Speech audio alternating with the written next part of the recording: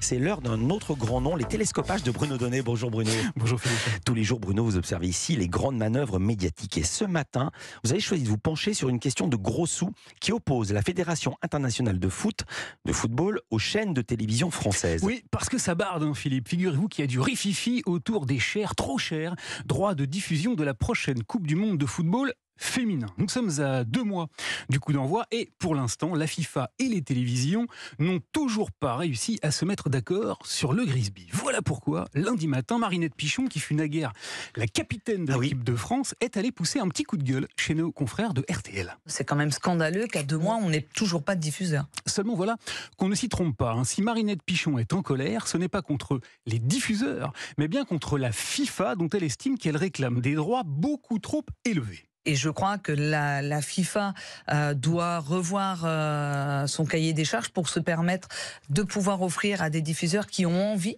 euh, d'aller diffuser cette, cette Coupe du Monde. Alors l'opposition financière est de taille puisque la FIFA réclame 20 millions d'euros aux chaînes de télévision qui, pour leur part, ne veulent pas en dépenser plus de 5. Des télévisions qui ont du reste reçu hier sur le plateau de la chaîne L'équipe, en l'occurrence le soutien de la ministre des Sports, Amélie Oudéa-Castera, qui estime elle aussi que la FIFA exagère. Alors, Voilà, je, je pense que la FIFA aujourd'hui est trop gourmande, Ouais. attend trop. Voilà, alors j'ai été très intéressé par ce débat, Philippe, parce que la manière dont l'a posé le patron de la Fédération internationale de football, un certain Gianni Infantino, ne manque ni de sel, ni d'un cocasse cynisme manœuvrier, je vous explique. Interviewé il y a quelques jours, Gianni Infantino a choisi de poser le débat sur le terrain habile de l'égalité entre les hommes et les femmes. broadcasters should put uh, their action behind. Les diffuseurs, a-t-il dit, devraient mettre leurs actes en accord avec leurs paroles. Ils nous reprochent constamment de ne pas payer les femmes aussi bien que les hommes, mais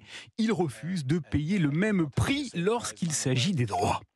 Mais alors, pour quelle raison dites-vous, Bruno, que cette décla- déclaration-là est une déclaration manœuvrière Eh bien, c'est une énorme manip, Philippe. D'abord pour une simple question de chiffres, de rentabilité. La prochaine Coupe du Monde féminine va se dérouler en Océanie. Il y a un énorme décalage horaire et donc les Françaises vont se retrouver à jouer à 10h du matin, heure de Paris, ou à midi au plus tard, c'est-à-dire à un horaire où il y a beaucoup moins de téléspectateurs qu'en soirée. Les spots de pub, ils seront vendus nettement moins cher et les chaînes de télévision auront donc beaucoup de mal à rentrer dans leurs frais. Mais ce qui est hautement baroque dans la façon de faire de Gianni Infantino, c'est qu'il a récemment déclaré ceci.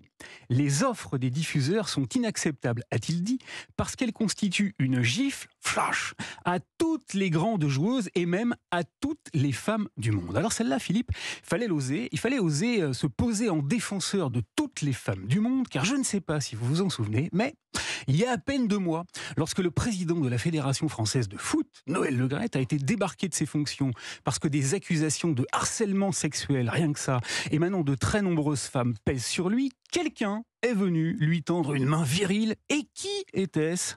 Le président a été nommé à la FIFA par euh, Gianni Infantino pour diriger le, le bureau de Paris de la FIFA. Eh oui, Gianni Infantino, l'homme qui se pose aujourd'hui en défenseur de toutes les femmes du monde, qui n'avait pas hésité un seul instant à recaser son vieux copain Le Gret, accusé de harceler sexuellement les femmes. Les cyniques, cher Philippe, ça ose tout, c'est paraît-il à ça qu'on les reconnaît. Merci beaucoup, Bruno Donnet. À demain, À demain. Thomas Sénécal.